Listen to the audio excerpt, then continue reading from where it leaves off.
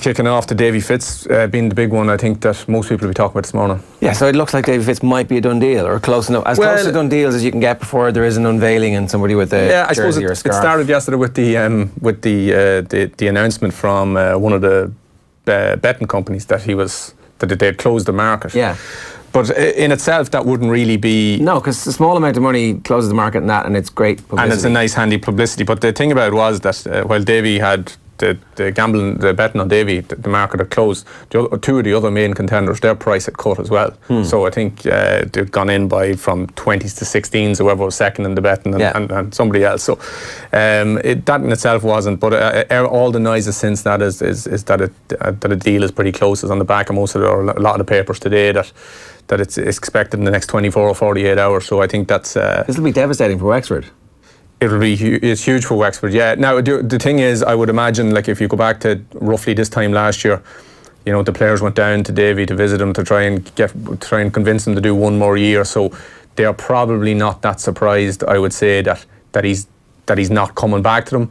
It might be a surprise that he's going to Galway, but even the the travelling involved will be cut dramatically in that case if they if he does go to Galway. Yeah, you were saying it's about an hour. Yeah, I just took it into Google Maps last night, and it was to Galway City, just for point of reference, from Six Mile Bridge, where I think Davy is based. That's just over an hour. Um, so you know that's a lot more manageable than cross country from Clare to. Uh, to Wexford, to where their tr- tr- centre of excellence is in fairness. So, um, it, it was Davy has referenced it a few times. It's it's a fair slog going over and back now. But where Wexford go from here now, assuming the thing is confirmed, is, is it's, it's a big question. for Yeah, them. what would you do?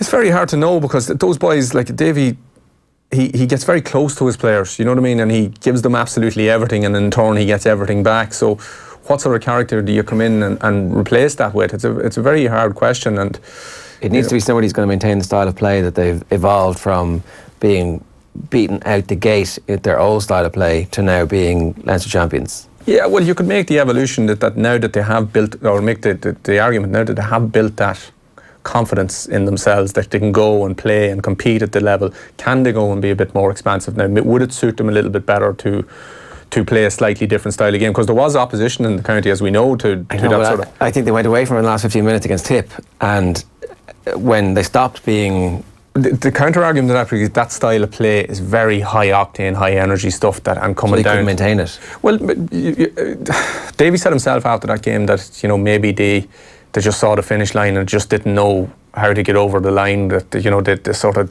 maybe froze. I don't think he used the word froze, but he just said that when it came to it, we just didn't know how to finish them off. Yeah. Um, but in fairness, to going back, like Tipperary were absolutely awesome. That was as, as big a, I think Nicky English described that last week as as good a win as Tipperary have had that he's seen them. Right. So you know, what you have You'd to give them. yeah. yeah, yeah, he would. Yeah.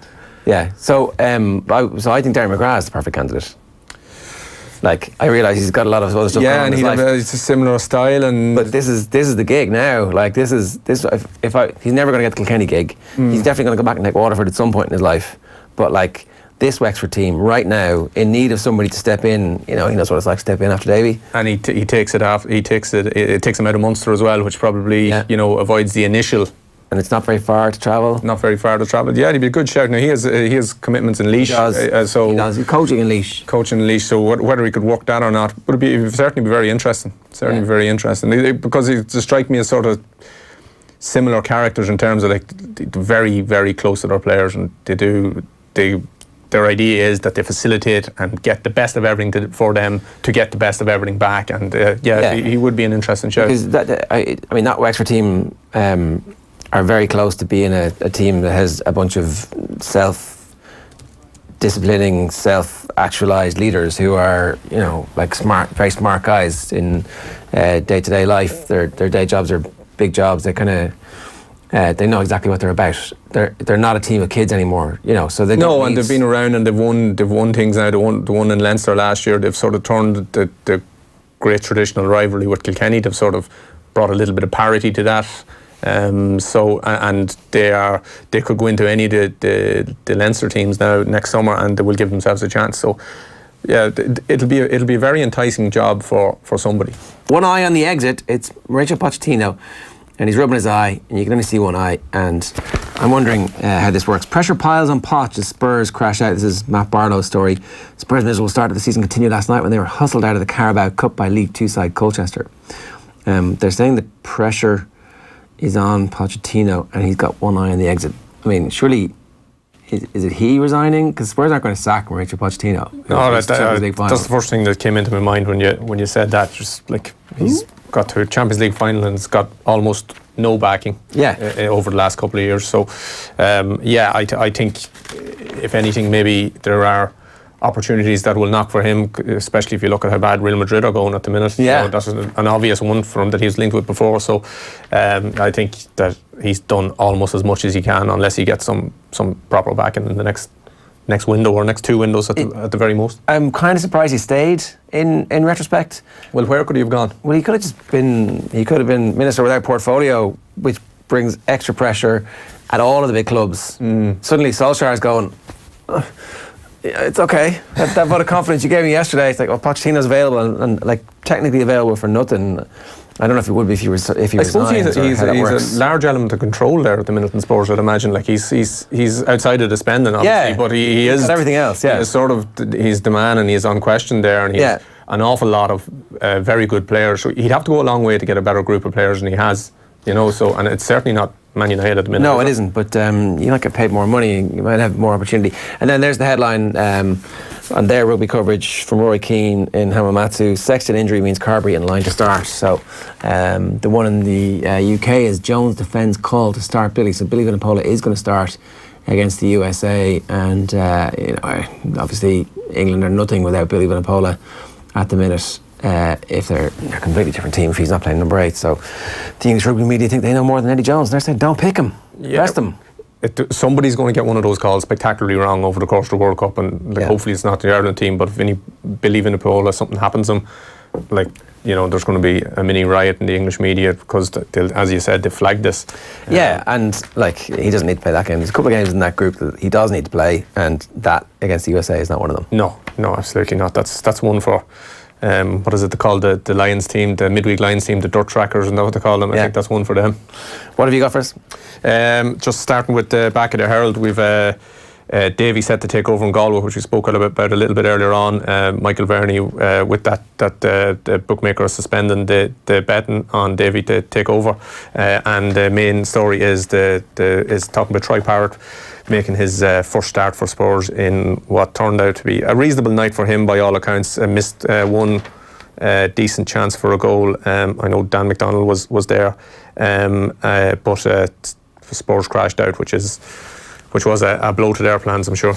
Right. So I don't normally read from the front of the star, but it's uh, Maura, I'll be Ice Queen. And uh, Maura Higgins has said she can't contain her excitement as she announced she's going to be taking part in this year's Dancing on Ice. And it's not the Irish one, it's the UK one. It's the ITV one. So she's going to be on alongside, you know, that one of Philip Schofield and Holly Willoughby. Are you a big fan of Dancing on Ice? I'm not. I'm not. But the Irish version, you would surely have to be on the list after all the Oh, sports no. broadcasters that have been Oh, no. have been, No have been called off. I think you're you're next. Um, so apparently Michael Barrymore is going to be on it as well. Yeah, I don't follow any of that at all now. I have to say. This is this is mad. So Michael Barrymore and Maura, you know, that's a motley crew that they have lined up for Dancing on Ice. Yeah, well, the, the Maura was always heading for this stuff, wasn't she? There was there's a well-worn path now from you know. But Dancing on Ice, like it's millions of people watch it. It's like It's huge, is it? Yeah, But it's- it Sunday nights? it's Christmas. It's sorry, it's, it's January. So it's the one after X Factor and all that stuff. It's early in the new year. Is it Saturday nights or Sunday nights? I'd say it's both. Some some weeks. So, it's- you do the thing on the Saturday, and you get kicked out on the Sunday. Like uh, Sundays, you're generally on the road coming back from somewhere, uh, so it's just Sunday nights. Yeah. So um, yeah, I, I miss everything. Like I'm back in time for League Sunday, maybe at that time of the year. That'll be it. So I'm yeah. looking forward to seeing who else they have. That's going to be a, very motley crew. You're putting Maura and Michael Barrymore. Michael Barrymore. I mean, come on, Jesus, there's a blast in the Mm. It's a long way back. Yeah. It's a it's been a long road back, but he's back, baby. Uh, and then a remarkable outburst from um, the current Liverpool manager saying, "Give my job to Gero." This is. Uh, I mean, nonsense, surely. Jurgen Klopp wants Kop legend Steven Gerrard to succeed him when he eventually steps down as Liverpool boss. That's type of, that's like, I don't view him as a threat. Um, well, I suppose that was maybe part of the thinking when he went to when he went up to Rangers. But uh, uh, he'd have to he'd have to do something with Rangers first, wouldn't he? Yeah, You'd at least to- something. yeah. So and and if he oversees the tenure where Celtic do the the fabled ten in a row, um, you know, ten that's- I mean, come on. Yeah, yeah. There you go. We think we have problems here with Dublin. I mean, well, if it gets to 10. Uh, and then, sorry, uh, one last one from the back of the star. Uh, Gavin's future still in doubt. So, Karen Cunningham saying that Jim Gavin has still not confirmed his future. Gavin was non committal following his All Ireland final win over Kerry on the 14th of September. But he's making the point um, that because of the speculation, an announcement could be made as soon as this Friday because the Dublin Senior Football Club Championship kicks into gear, and so they would want the new manager to be in situ. Having said that, all the papers have basically anointed Dessie Farrell as the next Dublin manager. Like, no, no competition, no, no doubt, no jeopardy. It's his gig if he wants it. Yeah, well, uh, Dessie was. He's gone from the GPA a couple of years now, and in his sort of exit interview, um, he was asked about, you know, is he going to be, is he leaving to become the next Dublin manager? And he said, look, no, that's not on the on the agenda at the minute. But sort of widely thought around the city and around the country that if and when Jim went, um, that he was the be the next man. man, up. Yeah. Um, and I don't think anything has changed since that. What have you got first, sir? Um, so starting with that story about Steve, uh, about Jurgen Klopp saying Steven Gerrard is the is the man to replace him. Um, there's a small bit on saying uh, on uh, the on Ed Woodward giving Ole. It's it's not quite a vote of confidence, but it's in that enough, it's in isn't that parish, isn't it? Definitely, like, um, which means he'll be away. gone in a fortnight, I suppose, and that's generally the the uh, the way. Then there's the Pochettino uh, uh, stuff again with uh, Spurs crashing out, and uh, just a small bit from uh, the Rugby World Cup saying that uh, Rob Kearney saying that uh, Japan this is Japan's World Cup final. So. Um, which he might have a point. He absolutely has a point, and so uh, Ireland needs to be prepared for that. Which is interesting that because I wouldn't have picked him in your in your head, you wouldn't have picked Rory Best, and you wouldn't have picked um, Sexton, but uh, Ronan O'Gara was like, I would I'd be picking them for this game. Yeah, well, like those boys were always going to be managed at some stage, weren't they? They were, their minutes were going to be managed at some stage between the first game and what was going to, expected to be a quarter final. So, Yeah. um, whether they missed this one or the next one, um, it doesn't really matter, does it? Well, like it- you want them coming into the South Africa game. Exactly, so played- however you get there. Is, So, yeah, and so your point is play them in this one, which is where there's a bit of jeopardy. The next game, there's no like we're going to. and if, the other thing is, you, you have three weeks, don't you? Even Yeah. if something goes wrong this weekend, you still have three weeks, which is Yeah, a reasonable amount of time. even if they've got to play the first 40 minutes and we're 20 points up, at that point you can whip them off. Uh, the Irish Independent back page this morning. Uh, Déise shot for outsider Cahill as Davy faces model D-Day. So, um, did you already do the Indo? No, you did the Herald. to there, there. Uh, doubts hangover Sexton, but Kearney and Earls are ready to face Japan. So uh, Rob Kearney does look like he is going to be ready. So he hadn't taken full part in the warm up last week, which meant everybody thought he was a bit further back than the rest of the uh, the injured lads. But obviously Keith Earls is fine. Does Keith Earls get straight back in the team? Who? again, it comes back to what, what their plan was and before the. Ronan O'Gara can refer to what his plan was for them before the World Cup in terms of minutes. He probably would have started against Scotland. Yeah, definitely. So um, you know, and now he is probably he's a bit of ground to make up now, I'd imagine. Yeah, so, Conway played so well. Yeah. You're like, maybe we stick with Conway for this one. yeah, and then you have a two sort of live options and decision to make again going into qualifying. Yeah, and then sorry, that, that um, story is that Liam Cahill is going to be the new Waterford hurling boss. Uh, Yeah, an interesting appointment. He's um, did a good job with Tipperary last year or this year. Um, uh, and obviously Liam Sheedy being in Tipperary and will be for the next couple of seasons at least you'd imagine that he's going off maybe to cut his teeth. And um, you know the, the Waterford are a lot better than they showed this year I would say. Yeah. um, now it is a it's a snake bit to, to Munster Championship but um, I think it's only two was it 17 during the All Ireland final? So there's still uh, not the core of that team are still there Yeah, and and a lot Tip- of that under 21 team Tipperary didn't get out of Munster and then win the All yeah, next year. Yeah, so yeah. like- I wouldn't. I don't think it'd quite that dramatic, but I do think they're an awful lot better than than they showed um, in 2019. Looks like Uruguay are going to beat Fiji. They're 30 22 ahead with 78 minutes on the clock. So uh, this is a bit of a shock. Yeah, we we were looking at it there. It's the 19th ranked team, Uruguay, and Fiji are ranked 10th. So yeah, it's a bit of an upset in that regard. Um, yeah, 19th beating 10th, and they're 90 seconds away from doing it. Shouldn't Fiji have beaten Australia? Or like, shouldn't Australia had a man sent off and that would have changed things quite dramatically? Um, I suppose it would have, but you, you always feel that. Like I was looking at the, the Russian team yesterday. They were out four days after their, uh, or five days was it between their first game and their second game. Yeah. And like it's an impossible ask, particularly of rugby. Uh, Like it's yeah. and it's the weakest, one of the weakest teams in the world. I think they're the bottom ranked team in, in the in the competition. So, like they there was sort of grist to the mill there in a lot of ways, and Yeah. I think we- we're going to see an awful lot of that more. Like as you'll see. Slightly like a Super 8 version where you saw at the end the weaker teams in Super 8 sort of their challenge fell away, or even in the the Leinster, the, the outside team in the, the Leinster Hurling Championship, like say the Carlow was Yeah. this year. As the competition went on and it went into week three and four, and game three and four, It gets harder They're, they're harder. just harder. They fall further away. You're going to see that multiplied many times over now because they're going to be so shattered after the games. Yeah. Uh, Fiji just had a penalty in the 22. and Bad game management. I would have kicked that penalty, put them one score behind, and try and win the restart, and then give yourselves all the additional extra time. Because if they score a try now, there's 30 seconds left. It's going to be too late. More Yeah. likely for them to um, have a restart. You, I suppose when when you think of Fiji, you don't. That's not really the thing that comes to mind, is it? You think of all the lovely stuff and the, the big hits and the soft hands and all that stuff, but um, they're very close to getting over now. Yes. Um, so yeah, look, no, they're done. No matter what happens now, they're done. It is too late Uh, the Guardian, the back page of the Guardian. Uh, IOC delays new transgender guidelines for 2020 Olympics, and United stand by Solskjaer. We're patient as Ole and team build for future. Um, Moura miss seals Spurs penalty. Well, bad penalty shootout from Spurs. Uh, Lucas Moura and Christian Eriksen both missing. Uh, that story is an exclusive from Sean Ingle. Plans by the IOC to introduce stricter guidelines for transgender athletes before Tokyo 2020 have run into the sand because its panel of scientists is struggling to reach agreement on such a thorny issue. Um, I just have the back of the sun here. Um, again, it's it's Pochettino and Spurs. Um, this uh, more Man United Solskjaer stuff, but I suppose the one that catches the eye is just saying that, and, and it's something that might come into. Uh, it might take on significance down the line, but it's just saying that Conor Murray will again be entrusted with kicking duties if needed. So in a scenario where uh, Sexton is on the pitch, but his leg is at him like it was in the Scotland game, that Murray will will be the man, and he kicked one and three in that Scotland game.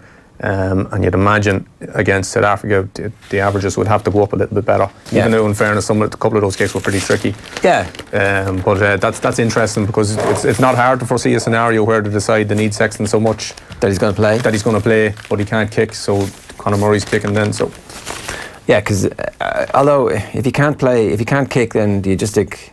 well, he kicked from the hand, didn't he, against Scotland, and he didn't kick from the tee. So yeah. so he, he kicked the yeah, he kicked the restart of the second half. You're right. Um, but do you not just put Joey Carbery in? Does that mean not mean get Carbery the game time now? Um, that's know? that's that's the choice. But like, do you go into do you go into um, into South a South Africa. Africa game without without Johnny Sexton? I mean, I don't think you can win it. Certainly, we don't feel like we can win it. But who knows? You know, we beat Yeah. South Africa with the standing out half in South Africa. Uh, the Irish Times this morning, their front page is New Zealand flick the switch and all of a sudden are ahead of a curve again. That's the Gordon D'Arcy column. And Yamanaka and Japan eager to grasp once in a lifetime opportunity. So, this is uh, a point that Rob Kearney is also making. Um, they obviously let the lads into the, the photographers into the weight room yesterday. And all Irish There some brilliant images from posing with their weights. Cian Healy was the one that I saw yesterday on social media. So It's pretty big, the weights that he's carrying. yeah, yeah. um, just the back of the Times here. Um, World Cup refereeing and turmoil. We've kind of seen a little bit of that this week with the with the. Uh, uh, the World Rugby essentially saying, listen, it hasn't been good enough so far, which I think is in relation to that tackle you mentioned earlier on, the Australia one. Um, so uh, talking about that, and then again more about Solskjaer, Solskjaer safe, even if United slump goes on. So that's as as we said beforehand, that's the kind of that's the start of that's the beginning of the end. Usually that that talk. Yeah. But they've put so much into Solskjaer, I'd say they're going to give him every chance because that's their serious egg on the face. If if uh, Again. again. Again, this this this group. In fairness to him, he started so well.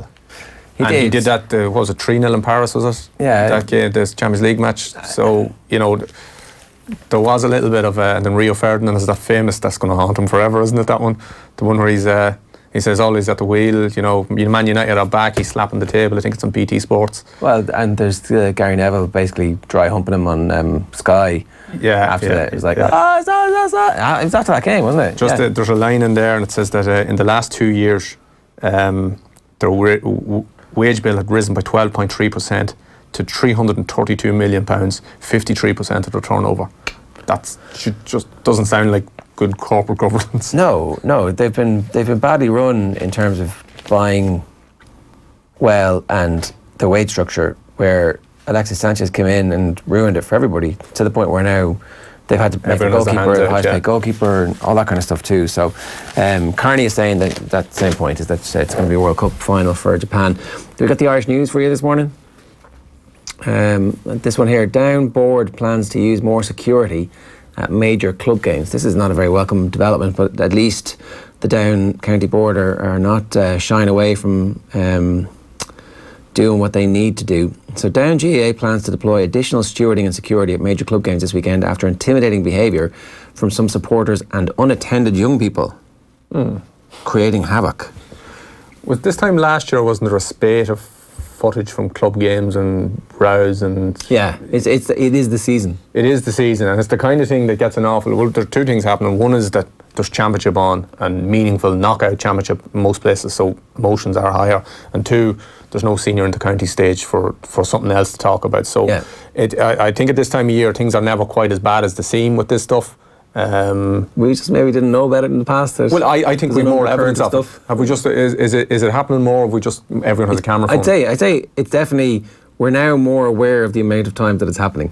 That's uh, Yeah, yeah, yeah. You're probably right. You're probably right. But look, I, as we were saying, I've played a lot of club football. I've, I've seen damn all. Right. uh, In, Well, you're for me. You've got lower. You're, the bar is low for you lads. You could be you're poking the heads off each other, and you'd be like, ah, that's nothing. we haven't been poking the heads of too many this last. But you know what I mean. People have that image, all right. But it's Yeah. it's, it's definitely it's gone, is it? Well, I don't know if it's gone, but I'm not sure how much it was ever there. I've never played anywhere else, so I don't. I can't Yeah. relate it to anything. But I don't think it's. I think people think like you know. It's all like Harnan the- and Kyle and going around Exactly. that's like, that's a very ro- a romantic outside image of Meath football. I think like it's like it's you know it's it's it's no worse or no better than, than anywhere else. Yeah, would be, would be my I'd say that was the thing that drove me to their success was that they were hardy boys, and that that was There's a lot of good footballers too. Like you know what I mean. I know, look, absolutely, but like they had good footballers the whole time, and then But you're, all all the good teams have those edge have those edgy guys like Dublin now, Kil- the Kilkenny hurlers. You Yeah. know, you always need a couple of fellas who.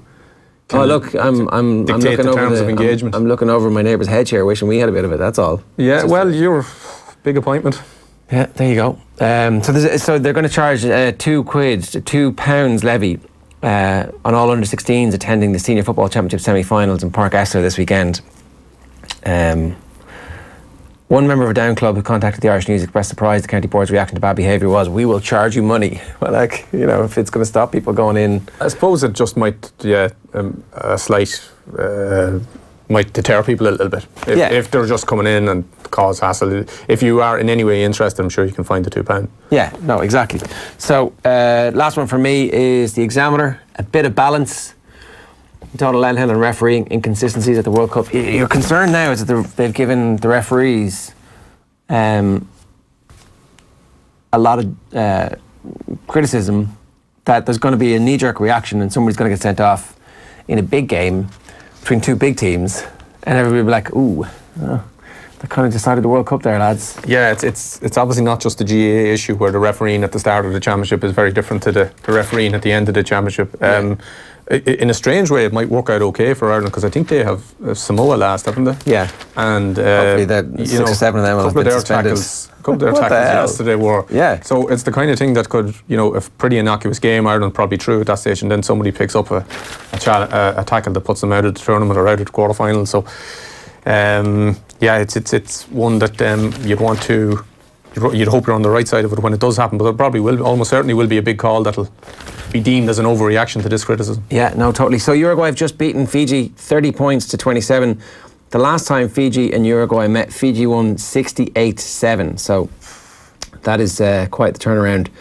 And, um, uh, you know, a, a massive shock because well, Fiji must have been looking at what happened against Australia and thinking, okay, you know what, like, let's just get into this tournament here and give ourselves a, a, a chance and back ourselves and get that extra time spent together and see what patterns can evolve because they've got loads of great players playing all over Europe. So, They've no time together, but have they? No. generally the Pacific Island experiences that generally they don't get to be together, like they kind of meet up in the airport, and that's, Yeah. sort of the extent of a lot of them.